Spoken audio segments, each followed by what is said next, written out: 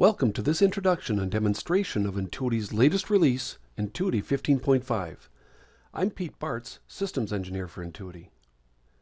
Three of the major features of this release include the web-driven user-defined polling, a new RESTful API, and improvements to simplify and ease administration of Entuity views.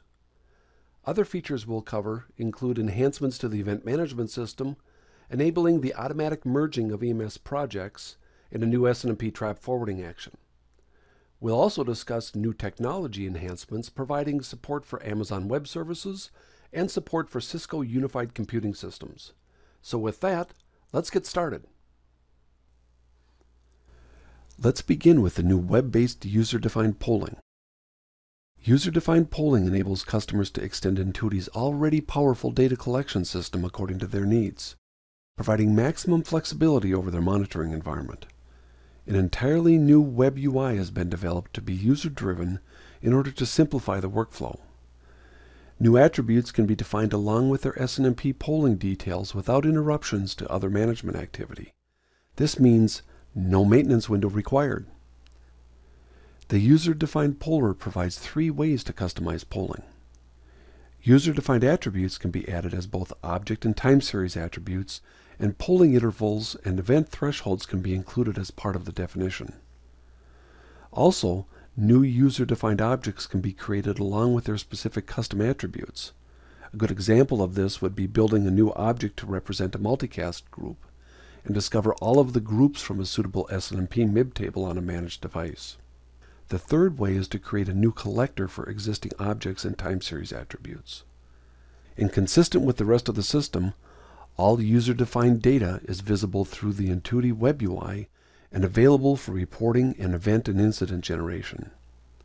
Let's look at some examples of how this new functionality can be leveraged.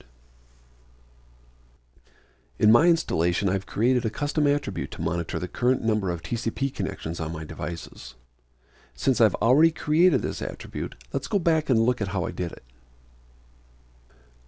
From the user-defined polling menu, I can create, edit, or delete any of my custom definitions. I can also use the wizard to very easily create any new polling definitions. If you're not familiar with how to do this, we've included a number of tutorial videos to help guide you. Let's use the wizard so I can show you how I created this new attribute. Selecting the wizard brings me to the MIB browser where I can select the correct MIB and object. In my case, this is the TCP current established object in the TCP MIB. I select the Get button to test access to this object on my device. I can see that I returned a result, so I'm ready to move on to the next step. Many of the details that I need are pre-populated in the wizard. I'll change the display name to something a bit more user-friendly, and I'll change the object type from switches to device.ex to include all of my managed devices. I'll also modify the polling interval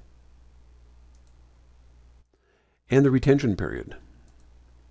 I have an option to display the metric on the summary page at the device level in the Explorer. In order to do this, I would select the gauges and the mini charts. And I would also populate a minimum and maximum value. Let's go to the next step. Since I already have the custom attribute in place, I'll hit cancel and you can see where the new attribute and collector are located. Here's my new attribute. And you can see all of the definitions that I've got in place. You can also see the collector and I can edit that.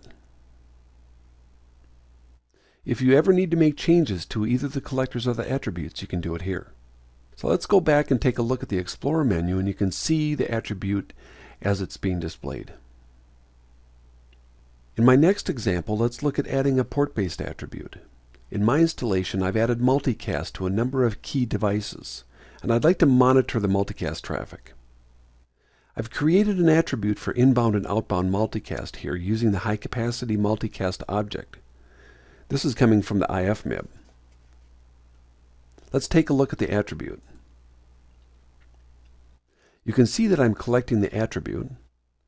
This is a counter, and I'm displaying it on the gauges in the mini charts. I've also created a collector to go out and gather the information for this attribute.